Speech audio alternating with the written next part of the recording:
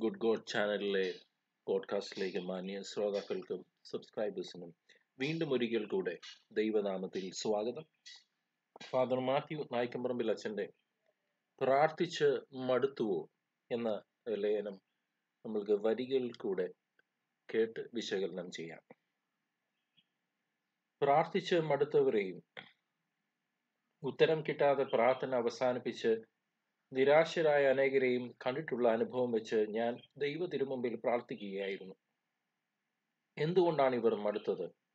ഭഗ്നാശരായത് ജീവിതത്തെ ചുറ്റി നിൽക്കുന്ന അനേകം പ്രശ്നങ്ങൾ നമ്മെ ഭാരപ്പെടുത്തിക്കൊണ്ടിരിക്കുന്നു. ലോകം ഒരുക്കിയ പ്രശ്നങ്ങളാണവ. അവ നമ്മെ നിരുത്സാഹപ്പെടുത്തുകയും മനം മടുപ്പിക്കുകയും വഴി പിഴപ്പിക്കുകയും ചെയ്തെന്ന് വരാം. ഗതകാല ജീവിതത്തിലെ നിഷേധാത്മക അനുഭവങ്ങളുടെ നൊമ്പരപ്പെടുത്തുന്ന ഓർമ്മകളും തളർത്തുന്ന വികാരങ്ങളും ഉണർവ് കെടുത്തുന്ന ബോധ്യങ്ങളും തമ്പുരാനെ വിളിച്ചപേക്ഷിക്കുന്ന അവസ്ഥയിൽ നിന്ന് നമ്മെ പിന്തിരിപ്പിക്കാൻ ശ്രമിക്കാം. പോയ കാലത്തെ വീഴ്ചകളും പരാജയങ്ങളും അന്ധകാര ശക്തിയുടെ ആയുധങ്ങൾ ആകാതിരിക്കണമെങ്കിൽ ഇതുവരെ കിട്ടിയ നൊമ്പരങ്ങൾ എന്നെ ബന്ധനത്തിലേക്ക് നയിക്കാതിരിക്കണമെങ്കിൽ മനസ്സ് പതറാതെ മനമടുക്കാതെ വിളിച്ച് പ്രാർത്ഥിക്കണം. വിശുദ്ധ ലൂക്കായുടെ സുവിശേഷത്തിൽ പതിനെട്ടാം അധ്യായം മുപ്പത്തിയഞ്ച് മുതൽ നാൽപ്പത്തി മൂന്ന് വരെയുള്ള തിരുവചനങ്ങളിൽ ഒരു അന്ധയാചകന്റെ ഇപ്രകാരമുള്ള പ്രാർത്ഥന കാണാം. യേശുവാണ് വരുന്നതെന്നറിഞ്ഞപ്പോൾ ഉച്ചത്തിൽ നിലവിളിച്ച് അവൻ പ്രാർത്ഥിച്ചു. ചുറ്റും നിന്നവരും മുമ്പേ പോയവരും വിലക്കി. എന്നാൽ അത് അവൻ ശ്രദ്ധിച്ചില്ല ശ്രമിച്ചുമില്ല കൂടുതൽ ഉച്ചത്തിൽ നിലവിളിച്ച് പ്രാർത്ഥിച്ചു. യേശു ആ നിലവിളി കേട്ടു. യേശു ഇടപെട്ടപ്പോൾ തടസ്സമുണ്ടാക്കിയവർ തന്നെ അഭ്യുദയകാംക്ഷികളായി. ധൈര്യമായിരിക്കുക യേശു നിന്നെ വിളിക്കുന്നു എന്നുള്ള ആശ്വാസം ഒഴികളായി അവരുടെ തടസ്സം പറച്ചിലുകൾ. എന്തുകൊണ്ടാണ് അവന്റെ ആദ്യ പ്രാർത്ഥനയ്ക്കും നിലവിളിക്കും കർത്താവ് ഉടനെ പ്രതികരണം നൽകാതിരുന്നത്? യേശു അവന്റെ വിശ്വാസത്തെ പരീക്ഷിക്കുകയായിരുന്നു. ഉടനെ ഉത്തരം കിട്ടാതെ വരുമ്പോൾ അവൻ എങ്ങനെ പ്രതികരിക്കുമെന്നറിയാനായിരിക്കും അവിടുന്ന് ആദ്യത്തെ യാചനയോട് പ്രതികരിക്കാതിരുന്നത്. പ്രാർത്ഥനയ്ക്ക് ഉത്തരം കിട്ടാതിരുന്നാൽ ചിലർ ഉടനെ പ്രാർത്ഥന ഉപേക്ഷിക്കും. ദൈവത്തെ തള്ളിപ്പറയും. അതിനർത്ഥം അവരുടെ വിശ്വാസം ബലഹീനമാണ് ആഴമില്ലാത്തതാണ് എന്നതാണ്. കർത്താവ് ഈ അന്ധയാചകന്റെ വിശ്വാസത്തെ പരീക്ഷിച്ചറിയുകയും നാം എങ്ങനെ പ്രാർത്ഥിക്കണമെന്ന സന്ദേശം നൽകാനായി ആ സംഭവത്തെ നമ്മുടെ മുമ്പിൽ അവതരിപ്പിക്കുകയുമാണ്. മറ്റൊരവസരത്തിൽ ഒരു കാനാൻകാരി സ്ത്രീയോട് കർത്താവ് ഇതേ രീതിയിൽ പ്രതികരിക്കുന്നുണ്ട്. മത്തായുടെ സുവിശേഷം പതിനഞ്ചാം അധ്യായത്തിൽ. യേശു അവിടെ നിന്ന് പുറപ്പെട്ട് ടൈർ സീതോൻ എന്നീ പ്രദേശങ്ങളിലെത്തി. അപ്പോൾ ആ പ്രദേശത്തു നിന്ന് ഒരു കനാൻകാരി വന്ന് കരഞ്ഞപേക്ഷിച്ചു. കർത്താവെ ദാവീദിന്റെ പുത്ര എന്നിൽ കനിയണമേ. എന്റെ മകളെ പിശാജ് ക്രൂരമായി ബാധിച്ചിരിക്കുന്നു. എന്നാൽ ഈശോ ഒരു വാക്ക് പോലും ഉത്തരം പറഞ്ഞില്ല. ഈ സാഹചര്യത്തിൽ യേശുവിന്റെ ശിഷ്യന്മാർ അവൾക്ക് വേണ്ടി വാദിക്കുന്നു. ഗുരു അവളെ പറഞ്ഞയച്ചാലും അവൾ നമ്മുടെ പിന്നാലെ വന്ന് നിലവിളിക്കുന്നല്ലോ. അവളോടുള്ള സ്നേഹത്താലല്ല പ്രത്യുത ശല്യം ഒഴിവാക്കാനായിരുന്നു അവർ ഇങ്ങനെ പറഞ്ഞത്.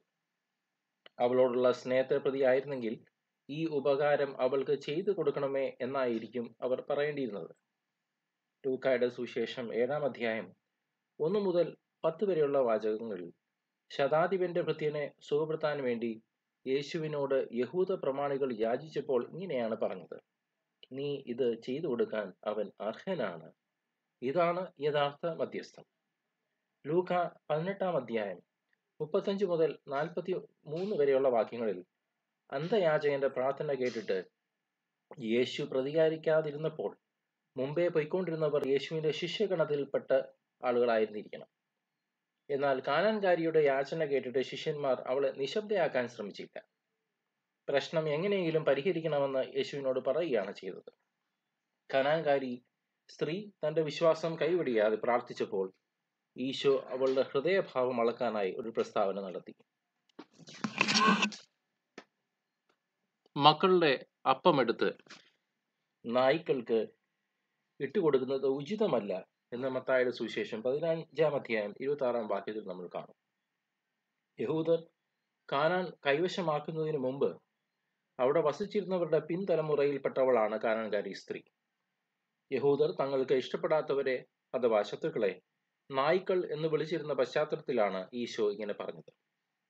അക്കാലത്ത് യഹൂദരുടെ സാംസ്കാരിക സാമൂഹിക പശ്ചാത്തലത്തിൽ ഈശോ അവളോട് പറയുകയാണ് നീ മറ്റുള്ളവരാൽ അഥവാ തിരഞ്ഞെടുക്കപ്പെട്ടവരെന്ന് കരുതപ്പെടുന്ന യഹൂദരാൽ വെറുക്കപ്പെട്ട വെറുക്കപ്പെട്ടാൽ പോലും എന്നിൽ വിശ്വസിക്കാൻ എന്നിൽ നിന്ന് അനുഗ്രഹം പ്രാപിക്കാൻ എന്നെ ഉപേക്ഷിക്കാതിരിക്കാൻ തയ്യാറാണ്. അവളുടെ മറുപടിയിലൂടെ അവളുടെ വിശ്വാസത്തിന്റെ ആഴവും വലുപ്പവും മനസ്സിലാക്കിയപ്പോൾ ഈശോ പറഞ്ഞു നീ ആഗ്രഹിക്കുന്നത് പോലെ നിനക്ക് സംഭവിക്കട്ടെ. പ്രതിസന്ധികളും പ്രശ്നങ്ങളും തന്നെ അലട്ടുന്ന നൂറു നൂറായിരം കാര്യങ്ങളും നിലവിളിച്ചപേക്ഷിക്കുന്ന നിർധനന്റെ മുൻപിൽ വെച്ച് തന്നെ യേശുവിനാൽ അനുഗ്രഹങ്ങളായി മാറ്റപ്പെടും തടസ്സം പറഞ്ഞവർ തന്നെ തുണയാളുകളായി മാറുന്ന വിധത്തിൽ യേശു അന്ധയാചകന്റെ ജീവിതത്തിൽ ഇടപെട്ടു. നിർഭയം നിലവിളിച്ച് പ്രാർത്ഥിക്കുന്ന ഏതൊരുവന്റെയും ജീവിതത്തിൽ യേശു ഇടപെടും. നമ്മെ തടയുകയും തളർത്തുകയും തിരിഞ്ഞോടാൻ പ്രേരിപ്പിക്കുകയും ചെയ്യുന്ന കാര്യങ്ങൾ തന്നെ യേശുവിന്റെ ഇടപെടലിലൂടെ അനുകൂലങ്ങളായി മാറിക്കൊള്ളും. നിന്റെ വെളിച്ചം പ്രഭാതം പോലെ പൊട്ടിവിരിയും നീ വേഗം സുഖം പ്രാപിക്കും. നിന്റെ നീതി നിന്റെ മുൻപിലും. കർത്താവിന്റെ മഹത്വം നിന്റെ പിമ്പിലും നിന്നെ സംരക്ഷിക്കും. നീ പ്രാർത്ഥിച്ചാൽ കർത്താവ് ഉത്തരമരുളും. നീ നിലവിളിക്കുമ്പോൾ ഇതാ ഞാൻ എന്ന് അവിടുന്ന് മറുപടി തരും. കർത്താവ് നിന്നെ നിരന്തരം നയിക്കും. നിന്റെ പുരാതന നഷ്ടനിഷ്ടങ്ങൾ നിന്റെ പുരാതന നഷ്ടശിഷ്ടങ്ങൾ പുനരുദ്ധരിക്കപ്പെടും. ഏശയ്യ അൻപത്തിയെട്ടാം അധ്യായം എട്ട് മുതൽ പന്ത്രണ്ട് വരെയുള്ള വാക്യങ്ങൾ. സർവശക്തൻ നിങ്ങളെ അനുഗ്രഹിക്കട്ടെ.